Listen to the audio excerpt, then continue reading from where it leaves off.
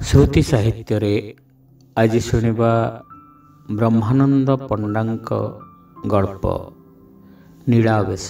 ଅପଲୋକ ନେତ୍ରରେ ଆକାଶ ଚାହିଁଥିଲା ଧରଣୀକୁ। ଧରଣୀ ଅବଗୁଣ୍ଠନବତୀ ରହସ୍ୟମୟୀ। ରଜନୀ ପ୍ରଭାତ କଳ୍ପା ସେ ପ୍ରତ୍ୟକ୍ଷ କରିବ ଧରଣୀ ସ୍ୱରୂପ। ଅଧୀର ହୋଇ ଉଠିଛି ଆକାଶ। କି ରହସ୍ୟ ଲୁଚି ରହିଛି ସେ ଅବଗୁଣ୍ଠନ ତଳେ? ରହସ୍ୟ ଉଦ୍ଘାଟନର ଲଗ୍ନ ଆସନ୍ନ। ତୀବ୍ରତର ହୁଏ ଆକାଶର ଉତ୍କଣ୍ଠା। ବସୁନ୍ଧରେ ଦର୍ଶନ ଦିଅ। ପ୍ରାଣ ମୋର ଶୀତଳ ହେଉ ଅବଗୁଣ୍ଠନ ତଳେ। ବିହଙ୍ଗ କଳହାସ ଧ୍ୱନିତ ହୁଏ ବାୟୁ ତରଙ୍ଗରେ। ଏ ଧ୍ୱନିର ତାତ୍ପର୍ଯ୍ୟ ଆନନ୍ଦ ନା ବିଦ୍ରୂପ।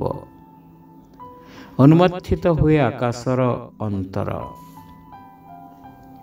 ଖୋଲ ବସୁନ୍ଧରେ ଅବଗୁଣ୍ଠନ ଖୋଲ। କଣ୍ଠତା ମୋଚ୍ଛୁକ। ଧରଣୀ ନିର୍ବିକାର ନିର୍ବିଚଳ। ସୂର୍ଯ୍ୟର ପ୍ରଥମ ରଶ୍ମି ସ୍ପର୍ଶ କରିଛି ଧରଣୀର ମସ୍ତକ। କ୍ଷିପ୍ତ ମହୋଦଧି ଗର୍ଜମାନ। ସତେବା ଗ୍ରାସ କରିବ ଧରିତ୍ରୀ ପୂର୍ଣ୍ଣ କରିବ କେଉଁ ଅନାଦି ଆକାଂକ୍ଷା। ପ୍ରବଳ ପ୍ରଭଞ୍ଜନ ଅପହରଣ କରେ ଧରଣୀର ଅବଗୁଣ୍ଠନ।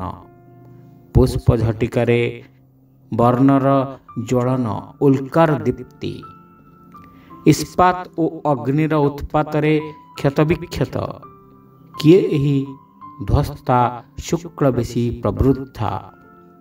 କ୍ଷତ ଦେହରେ ଅଗଣିତ ଅଙ୍ଗୁଷ୍ଟ ପ୍ରମାଣ କୃଷ୍ଣ କୀଟ ବୁଭୁକ୍ଷୁତ। ଉତ୍ତପ୍ତ। ଦେହମୟ ଦଗ୍ଧ ଚର୍ମ ଛିନ୍ନ ମାଂସ ରକ୍ତ ଓ କ୍ଳେଦର ବିଭୀଷିକା। ଏହିକି ସେହି ସୁନ୍ଦରୀ ଧରିତ୍ରୀ ହାସ୍ୟମୟୀ ଲାସ୍ୟମୟୀ ବସୁମତୀ ସମ୍ବିତ ଆକାଶ ନିଜର ନୀଳିମାରେ।